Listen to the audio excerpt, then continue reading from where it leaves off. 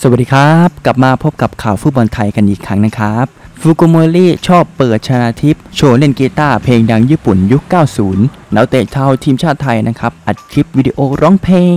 เล่นกีตาร์เพลงญี่ปุ่นยุค 90 หลังจากที่ชนาธิปสรงกระสินได้ขึ้นไปร้องเพลงญี่ปุ่นยุค 90 ในงานขอบคุณแฟนบอลคาวาซากิฟรอนตาเล่เมื่อวันที่ 23 กรกฎาคมที่ผ่านมา ล่าสุดชนาธิปได้อัดวิดีโอโชว์เล่นกีตาร์พร้อมร้องเพลงทอนโบ ของศิลปิน ทิซุโยชิ นากาบุชิ นักร้องชื่อดังวัย 65 ปี ผ่านทาง Facebook และ Instagram ส่วนตัวด้วย ซึ่งก็มีแฟนบอลเข้ามารับชมเป็นจำนวนมากนะครับ นอกจากนี้ playmaker ทีมชาติไทยยังเผยว่า การเริ่มต้นที่รู้จักเพลงนี้คือมาจากอากิโตะฟุกุโมริอดีตเพื่อนร่วมทีมตอนที่ยังเล่นให้กับคอนซาโดเรซัปโปโรเปิดให้ฟังบ่อยๆ แล้วรู้สึกชอบมากๆ เลยถามว่าเพลงนี้ชื่อว่าเพลงอะไร ก็เลยรู้ว่าเพลงนี้ดังมาในยุค 90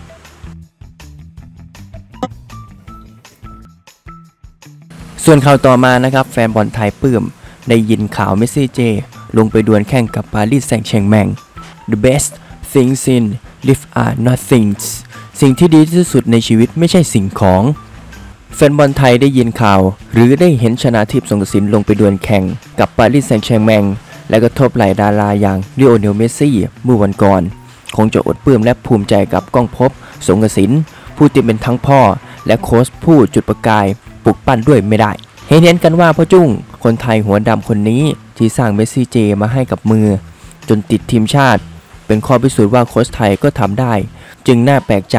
ทำไมต้องไปจ่ายแพงๆจ้างฝรั่งหัวแดงมาสอนเด็ก และไม่มีความสำเร็จ อะไรเป็นชิ้นเป็นอันเห่อฝรั่งไม่ลืมหูลืมตาด้อยค่าโค้ชไทยเมื่อไหร่จะตาสว่างกันสักทีออกสตาร์ตไทยลีกฤดูกาลนี้อย่างสดชื่นแจ่มใส ภายใต้ชื่อสนามใหม่ชลบุรี UTA Stadium ที่ได้รับการสนับสนุนจากบริษัทอู่ตะเภา International Aviationทำให้ชลบุรี FC ภายใต้การนำของอันนบสอสิทธิ์สิงโตทองคึกคักขึ้นมาทันทีตอนนี้โค้ชอัจฉริยะสม สะสมภพประเสริฐต่างเป่าต่างคว้าถ้วยใดถ้วยหนึ่งมาฉลอง ชื่อสนามใหม่ให้ได้ พลิกดูสถิติไทยลีกฤดูกาลที่แล้ว พิธีวัตรสุขจิตธรรมกุล จ่ายบอล 1,575 ครั้งสำเร็จ 1,333 ครั้ง ในขณะที่สารัตอยู่เย็น จ่ายบอล 1,411 ครั้งสำเร็จ 1,237 ครั้ง ฤดูกาลใหม่ที่ใกล้จะมาถึงนี้ ฝ่ายแรกย้ายจากเชียงราย มาสมทบกับฝ่ายหลัง TBG PU เป็นใครก็อดใจไม่ไหวที่จะรอดู เต้บวกตัง ร่วมพลังสุดแกงลงเล่นด้วยกัน งานนี้ VR ไม่พลาดแน่กำลังเก็บเงินซื้อตั๋วอยู่ ปิดท้ายวันนี้ฝากมาจากคุณหมอเพชรชบูรณ์โรจนธรรมกุล ประธานกลุ่มฟ้าใหม่ มิ่งมงคล ขอเชิญร่วมงาน วันอภิมหามงคล น้ำมนต์ศักดิ์สิทธิ์ วันที่ 31 กรกฎาคมนี้ ณ สำนักสงฆ์เขาแก้วทองอำเภอกบิน บุรี จังหวัดปราจีนบุรี ในเวลา 9นาฬิกาถึง 12นาฬิกางานนี้รวบรวมของขังและนำมนต์จาก 108 เกจิอาจารย์ มาปลุกเสกและแจกจ่ายพี่น้องคนไทย พื่อความเป็นสวัสดิมงคลต่อไป สาธุอนุโมทนา ส่วนข่าวต่อมานะครับสื่อเวียดนามเคลื่อนไหวหลังธีรทรคว้ารางวัลนักเตะยอดเยี่ยมแห่งปีสื่อเวียดนามเคลื่อนไหวหลังธีรทรแบ็กซ้ายทีมชาติไทยนะครับคว้านักเตะยอดเยี่ยมแห่งปีประจำฤดูกาลปี 2021 ถึงปี 2022 โดยวันที่ 25 กรกฎาคม ปี 2565 The Town 247 สื่อชื่อดังของเวียดนามโพสต์รูปธีรทรบุมาทัน พร้อมข้อความว่าแทนที่จะได้รับรางวัลศอกทองคำกองหลังธีรทรบุมทันก็ได้รับเกียรติ จากสมาคมฟุตบอลแห่งชาติไทย โดยการได้รับรางวัลนักเตะยอดเยี่ยมประจำฤดูกาลปี 2021 ถึงปี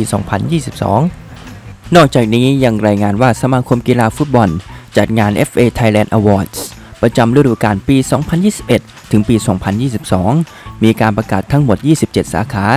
ซึ่งใช้ในเกณฑ์การตัดสินแบบเดียวกันกับ FIFA และ AFC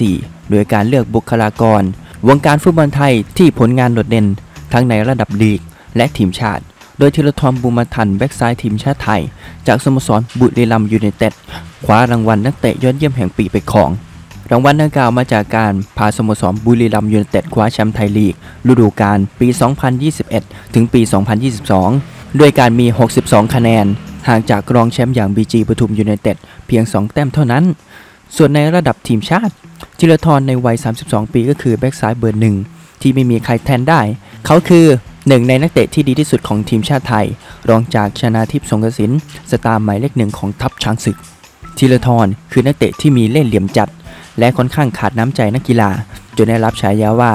ราชาศอก นอกจากในการแข่งขันฟุตบอลชิงแชมป์อาเซียน FF Suzuki Cup ปี 2020 รอบรองชนะเลิศธีรทรสอกใส่นักเตะของเวียดนาม แต่ก็ไม่ได้รับการลงโทษ จากผู้ตัดสินแต่อย่างใด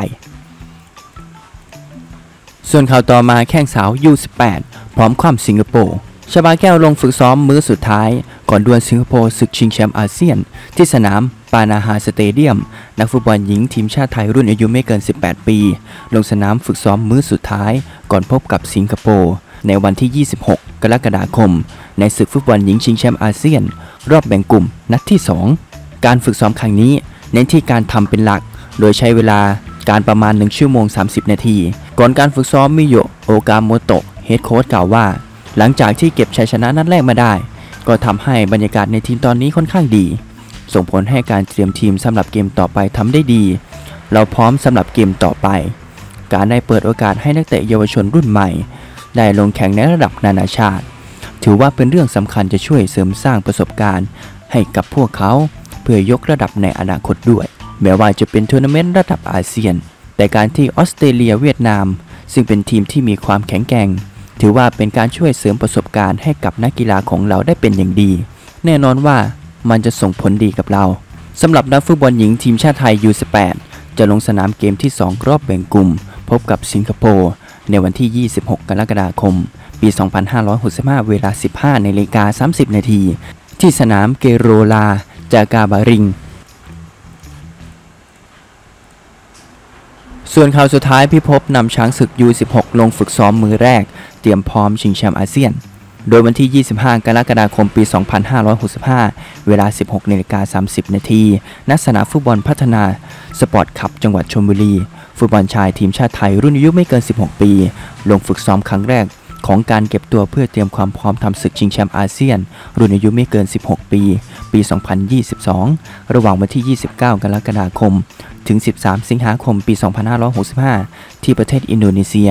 การฝึกซ้อมครั้งนี้เป็นการทบทวน concept และการร่วมเล่นเป็นทีมของนักเตะใช้เวลารวมทั้งหมด 1 ชั่วโมง 30 นาที ก่อนการฝึกซ้อมพิภพอ่อนโม้ หัวหน้าผู้สอนทีมชาติไทย U16 กล่าวว่า การฝึกซ้อมวันนี้เรา ให้น้องๆ ได้ทบทวนวิธีการ หลังจากที่มีแคมป์ไปแล้ว 2 ครั้ง ทีมชาติไทยชุดนี้ นักเตะหลายคนยังไม่มีประสบการณ์ระดับนานาชาติ หลังจากมีโควิดมาถึง 2 ปี นอกจากนี้เราจะเร่งทำให้เด็กเข้าใจวิธีการ และให้มีผลลัพธ์ออกมาให้ดีที่สุด เราได้พูดคุยกันภายในทีมถึงวิธีการที่จะฝึกซ้อม เหลือเพียงแค่ทำให้น้องๆเล่นในตามแผนที่เราวางเอาไว้